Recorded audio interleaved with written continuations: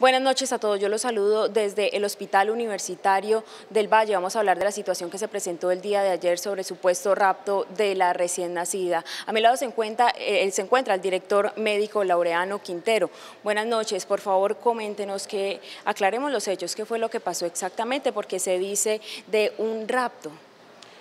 Es muy importante precisar que se le da salida a la madre y al niño del servicio de ginecobstetricia y el nené, el recién nacido, nace eh, en condiciones adecuadas y sale en manos de su madre y de su abuela. Los hechos se desencadenan posteriormente. Bueno, ¿hay situaciones que se han presentado anteriormente? ¿Algún antecedente?